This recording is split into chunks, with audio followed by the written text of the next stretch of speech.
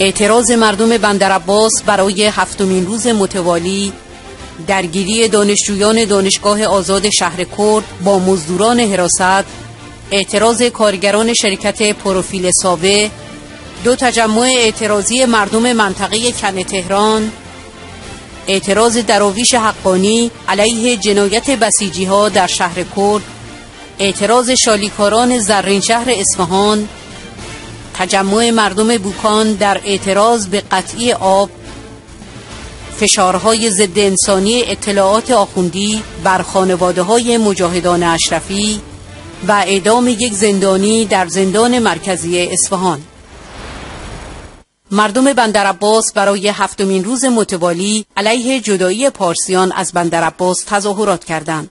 جمعیت انبوهی در مقابل رادیو و تلویزیون رژیم تجمع کردند و از جمله شعار می‌دادند پارسیان آزاد نشه اسکله بسته میشه. تظاهر کنندگان خطاب به استاندار مزدور رژیم در این شهر شعار می‌دادند عزیزی حیا کن هرمزگان رو رها کن. چند تن از دانشجویان دانشکده دامپزشکی دانشگاه آزاد شهر کرد در اعتراض به سرکوب دختران دانشجو توسط مزدوران حراست با آنها درگیر شدند. مزدوران حراست با کمک ماموران سرکوبگر انتظامی سه تن از دانشجویان را مورد ضرب و شتم قرار دادند. کارگران شرکت پروفیل سابه در اعتراض به خودداری رژیم آخوندی از به رسمیت شناختن حقوق و مزایای مشاغل سخت و زیانآور اعتراض کردند. بیش از دویست از شالیکاران منطقه لنجان و زرین شهر در اصفهان در مقابل اداره بهداشت تجمع کردند و به خسارتهای وارده به کشاورزان اعتراض کردند. تجمع کنندگان شعارهایی علیه کارگزاران رژیم سر دادند. گروهی از مردم به ویژه جوانان کوی وسال کن در تهران به تخریب و تصاحب زمینهایشان توسط رژیم قارتگر آخوندی به ویژه تصاحب زمین فوتبال جوانان اعتراض کردند. این حرکت اعتراضی در مقابل شهرداری رژیم در این منطقه صورت گرفت. روز دوشنبه 22 مهر ماه گروهی از اهالی منطقه کن تهران در مقابل اداره برق منطقه تجمع کردند و به قطع شدن مستمر برق اعتراض کردند.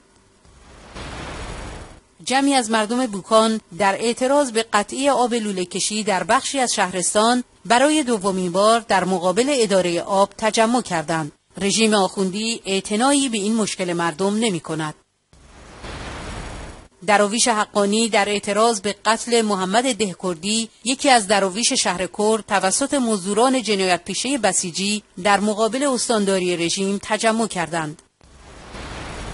دشقیمان رژیم آخوندی فشار بر زندانیان و خانواده های مجاهدان اشرفی را شدت بخشیدند. مأموران اطلاعات آخوندی بدون هیچ دلیلی به منزل الله وردی روحی 64 ساله یورش بردند و وی را بازداشت کردند. دو فرزند آقای روحی از مجاهدان اشرفی می باشند. داوود میرزایی در کرج نیز به دلیل وابستگی خانوادگی با این مجاهدان دستگیر شده است. حمید میبودی نیز که از بستگان مجاهدان اشرفی است توسط دشخیمان اطلاعات دستگیر شد. ماموران اطلاعات و قضاییه رژیم در تهران نیز خانم مولود صفایی را برای تبعید به سمنان احضار دادند.